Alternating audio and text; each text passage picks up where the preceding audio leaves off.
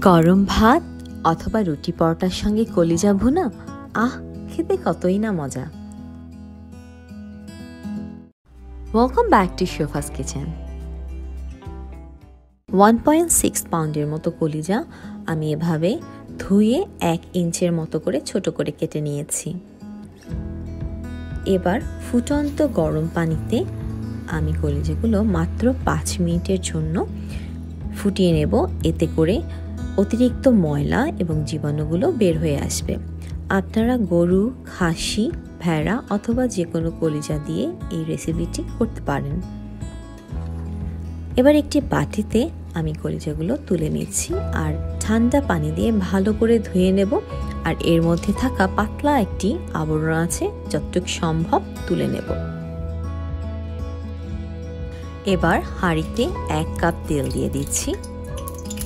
কুচিয়ে রাখা দুই কাপ পেঁয়াজ দিয়ে দিচ্ছি। ভেজে নেব যে পর্যন্ত না বাদামি রং হয়ে আসে। এখান থেকে আমি বেশ খানিকটা বেরেস্তা আলাদা করে রাখব। যেহেতু এখানে এক কাপ পেঁয়াজ বাটা ব্যবহার করছি, কিছুটা পানি দিয়ে এটা পেস্ট করে নিয়েছি, তাই তেমন একটা ভাজা পেঁয়াজ দিচ্ছি না। আদা বাটা, দেড় টেবিল চামচ, রসুন বাটা, এক টেবিল চামচ, হলুদ গুঁড়ো, এক চা চামচ, মরিচ গুঁড়ো, এক চা চামচ অথবা স্বাদ মতো।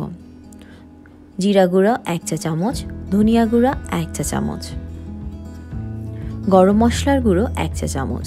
এবার এই সব মশলাগুলো খানিক্ষণ ভেজে নেব দুই মিনিটের মতো।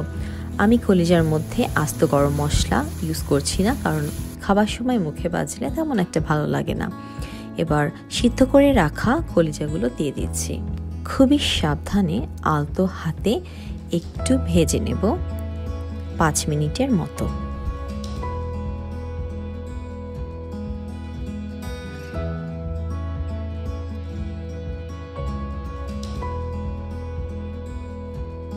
এবার দুটো আলু ঝুলে এভাবে কিউব করে কেটে নিয়েছি। আর আলুর সঙ্গে কলিজা অল্পক্ষণ দুই তিন মিনিটের মতো করে ভেজে নিব আর শুকনো মরিচ দিয়ে দিচ্ছি স্বাদ মতো।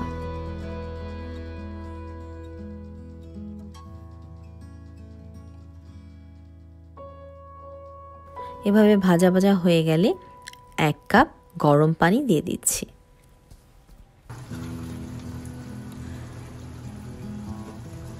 এখন দশ থেকে পনেরো মিনিটের জন্য ঢেকে রান্না করব, অথবা যে পর্যন্ত না কলিজা আর আলু ভালো করে রান্না হয়।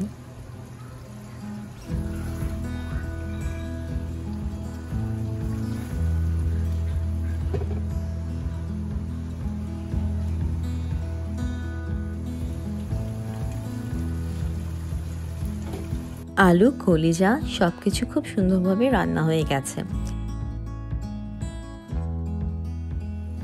তুলে রাখা পেঁয়াজ বেরেস্তা দিয়ে দিচ্ছি, স্বাদ মতো কাঁচামরিচ।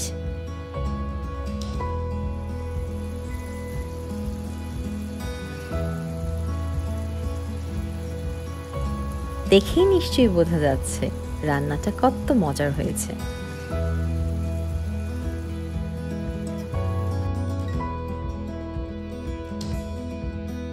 হ্যাঁ বন্ধুরা, আমার এই রেসিপিটা ফলো করে রান্না করুন। পরিবার, পরিজন সবার সঙ্গে শেয়ার করুন। আর রেসিপিটা ভালো লাগলে অবশ্যই সাবস্ক্রাইব করুন লাইক শেয়ার কমেন্ট করুন।